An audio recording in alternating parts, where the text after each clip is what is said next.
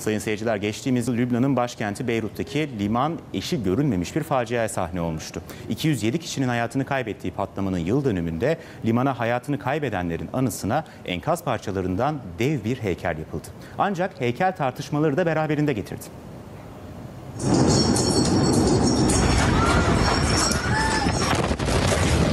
4 Ağustos 2020 tam bir yıl önce dünya Beyrut limanında meydana gelen bu patlamayla şoka uğramıştı.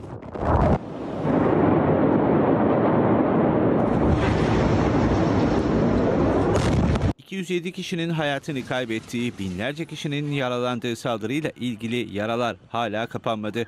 Beyrutluların hafızasından silinmeyecek o günün yıl dönümü için patlamanın gerçekleştiği Beyrut limanındaki siloların hemen önüne bir heykel dikildi.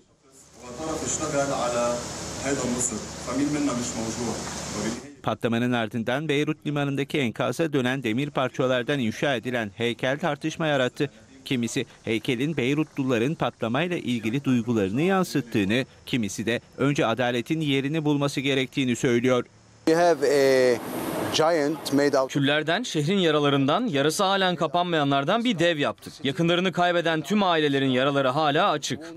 The killers have complete impunity. Katiller suçlarından ceza almadı ve geçmişte kalmış gibi yapıyoruz ve bunu sanatlaşmaya çalışıyoruz. Ben buna karşıyım. Beyrut limanına yapılan dev heykelin ismi ise iyilik. gesture, which is a gesture for Beirut. Bu iyilik. Beyrut için iyilik. Bu heykel Beyrut'u yansıtıyor. Beyrut'un üzüntüsünü, kızgınlığını. Çünkü yaralardan yapıldı. Patlamanın izleriyle yapıldı. On top of it, I feel this is a crime scene. Burası suç mahalli ve suç mahallinde hiçbir şeye dokunulmaz. Buranın incelenmesi gerek. Gelip bir etkinlik düzenleyip para kazanamazsınız. Hele ki burada hayatını kaybedenlerin vücudu üzerinden. Beyrut'u yerle bir eden patlamaya limana depolanan 2750 tonluk amonyum nitrat neden olmuştu.